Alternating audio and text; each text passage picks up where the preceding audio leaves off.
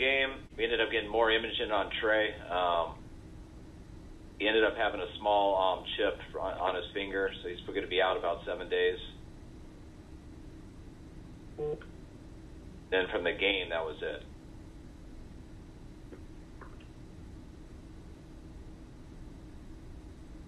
Kyle, is that his thumb? I mean, I'm not going to get into which finger it is. One of his five. Kyle, on Trey, the, uh, can you explain what a chipped finger is, or what your understanding of it is, at least? Yeah, I mean, it, it wasn't bothering him much because you just thought it was jammed on that helmet, and then when you get all the images on it, there's, you, when they showed it to me, it's microchip of a bone that's off. He chipped it, which is a small chip fracture, um, which is worse than a jam. Uh, that's why it's not going to just heal on its own without um, taking them. I mean, you can't take snaps and do all that stuff right now. So we just got to rest it for seven days, they say, and that should be a, make it heal. And hopefully he'll be good next Monday when we get into practice.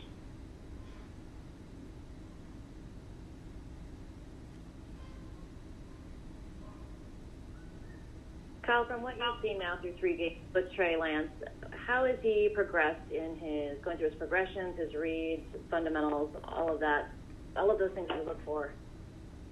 Uh, I, I think he's gotten better with each game. Um, he's gotten better throughout the whole process. Something he'll keep having to work on though, and every single week, every single day, and throughout his entire career also. Is it kind of what you would expect from a rookie quarterback? Uh, yeah, definitely. Really, exactly what you expect. What kind of Lions preparation um, are you planning this week? And um, would Trey not being able to take part in practice affect his availability if he is able to, you know, start practicing the Monday before the game? Yeah, we won't do any this week. It's um, you know, we'll have a practice Wednesday and Thursday, and then the whole league has those next three days off. Um, you know, I think one of the biggest overrated things um, right now is this whole extra bye week that everyone's acting like we have. I don't see it much difference than how it is every single year. Normally on this day, I'm doing the exact same thing. Um, we're resting our players because you just played a game on usually Saturday or Sunday. Travel back a lot, and day we grade it all. Usually give guys, usually do a light walkthrough on Tuesday. Usually have a practice on Wednesday. Then you play about half of your guys in that Thursday game a lot who aren't making your team.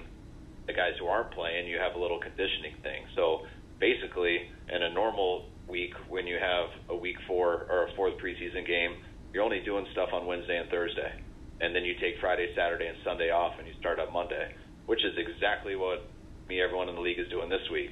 Except we don't have to get through that game on Thursday and play some guys and risk getting guys injured, which is awesome. Um, but as far as this whole extra time and stuff, I me, it feels the exact same as always, but it's nice to not have to go through that process of that fourth game. When it comes to Detroit and everything, we're just going to get two good practices in. Um, we'll work throughout the week, so when they come in on Monday, that's probably when we'll start giving them some of the game plan. I have one quarterback question. Oh, I got plenty of time for that. Um, then go ahead. Um, just, just broadly, uh, what's what's the biggest challenge you face in terms of the, approaching the season and knowing that you have a guy that you're developing for the long term while also understanding you have a team that's that's ready to contend right now?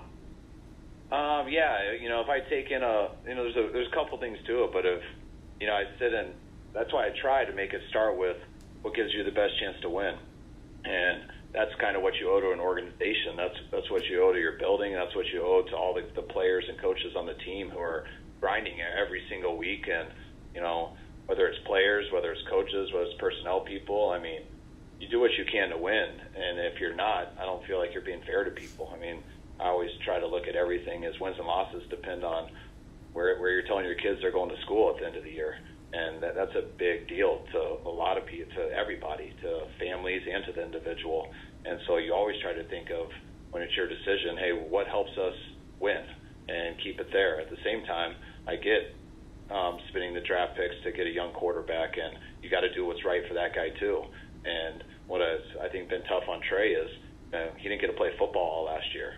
All right, so regardless of what happens, I'm always trying to make sure that Trey doesn't go a whole nother year without playing football. We're going to make sure that we do what's best for him getting him reps on the on the practice field, hopefully in games too, and we'll see how this all pans out. But my order of thinking always starts with what's best for this organization, what gives the organization the best chance to win, and then after that, I'm I'm always thinking of the individual.